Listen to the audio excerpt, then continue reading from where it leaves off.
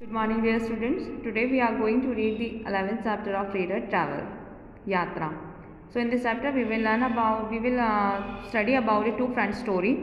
One of them um, George Harbo and second of them Frank Samuelson. So let me start to read and enjoy this chapter. Why are some of us fonder of travel than others? क्यों कुछ लोग शौकीन होते हैं travel के दूसरों से ज़्यादा. What are the advantage of being a habitful traveller और क्या एडवांटेज है हैबिटफुल ट्रैवलर होने की? Here is an unit are introduce you to be under unpredictable but exciting word of travel so let be start to read this story across the Atlantic the Atlantic is a huge ocean you know that एक Atlantic जो है वो एक huge ocean है. It is about five thousand kilometres wide between New York and England Only big ship can cross the ocean safely, but two young men cross it in small boat.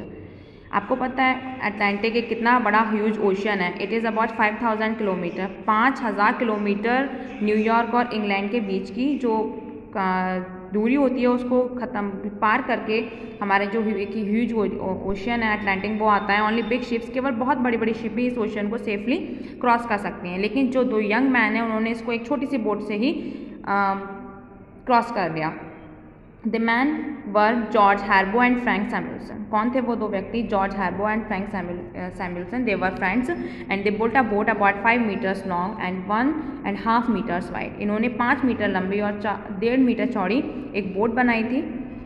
At which at each end of the boat और boat के हर end पर, हर हर अंतिम पड़ाव पर there was a drank from fresh water एक टैंक था साफ़ पानी के लिए। A man name Fox gave them a big sum of money for building the boat so they call the boat Fox और इसका नाम जो उन्होंने रखा था बोट का, वो क्या रखा था? Boat Fox so since it was going to a long voyage they stored plenty of food water and wire in the boat. They also fixed a small oil stove at the front of the end of the boat.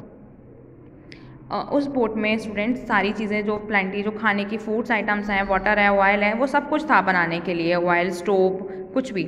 On six जून 1986 छः जून 1986 को a crowd gather at New York harbour New York के harbour पर बहुत ज़्यादा crowd इकट्ठी हुई, बहुत ज़्यादा भीड़ इकट्ठी हुई। They look at the great ocean and the small boat वो सब किस लिए आए थे? ये देखने के लिए आए थे कि कैसे एक छोटी सी बोट से एक कितना बड़ा ओशन को क्रॉस किया जा सकता है।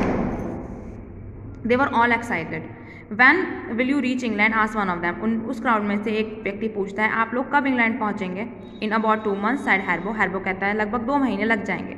Where will you go from there as another man दूसरा व्यक्ति पूछता है, फिर वहाँ से आप कहाँ जाएँगे? टू फ्रांस एट सैम्बुलसन इस पर सैम्बुलसन आंसर देता है कि हम वहाँ से फ्रांस जाएँगे। How much water is there in the tanks about two fifty litres how will you cook for your food तो जो मैनी ऑफ़ दैम बहुत वन ईच ऑफ़ दैम एक एक करके क्वेश्चन पुट करते हैं, उसमें से एक पूछता है कि कितना पानी है आपके पास तो 250 लीटर वो उसको बताते हैं, आप अपना खाना कैसे पकाएँगे on the small oil stove वो कहते हैं कि ठीक है, हमारे पास छोटा सा स्टोव है, जिसमें पूरे बोट में सारे जो फ़ूड आइटम्स होते हैं, वो सारे हैं हम वहाँ पर अपना खाना पकाएँगे दो महीने में और खाएँगे. Well good luck to you सब उनको बेस्ट विशेष देते हैं, अपनी गुड लक बोलते हैं and at five P M पाँच बजे शाम के द फॉक्स स्टार्टेड जो बोट का नाम फॉक्स था, वो स्टार्ट होती है एंड प्यूपल चेयर और पीपल सबको चेयर करते हैं मतलब उन दोनों को चेयर करते हैं बहुत ज़्यादा। And Harbo and Samuelson rowed the boat from eight in the morning till noon every day and them then they ate their lunch and rested for an hour okay वो दिन में दो बार बोट को रात में eight in the morning sorry starting में morning में और टिल नून एवरी डे बीच में दो बार रोकते हैं जिसमें वो अपना लंच करते हैं रेस्टेड फॉर एन आवर और एक घंटे का रेस्ट करते हैं and they rowed again until supper at night one of them rowed while the other slept रात में एक, जो दोनों में से हैबर और सैमुलसन में से एक होता है, वो बोट चलाता है और दूसरा सोता है. वन बाय वन ऐसे ही डे बीतते जाते हैं. This was the routine they had worked out for their translating voyage तो यही उनका रिटर्न होता है और धीरे धीरे करके दिन बीतते हैं एंड